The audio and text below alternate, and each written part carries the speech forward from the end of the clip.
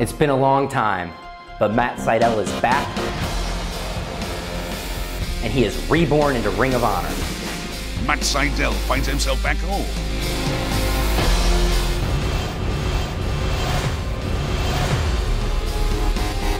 And this house is not a home. I was invited personally by Truth Martini to join him and Jay Lethal. I passed on that opportunity. He calls himself Reborn Matt Sydal.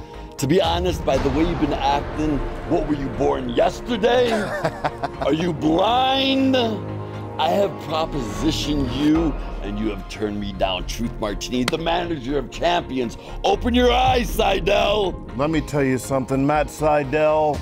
We tried to help you. We extended the hand, the good hand, and you turned us down. So the insult came back my way. Let me tell you what you did.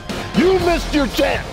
You missed an opportunity of a lifetime. If you don't master your allies, your allies will master you. And a man like Truth Martini wanted to be my ally to master me, to take a hold of my career. But I hold my career in my own hands. And these hands are going to earn me the Ring of Honor Television Championship, December 7th in New York City at Final Battle. You like to call yourself reborn. Well, I'm going to give you a chance to be born again.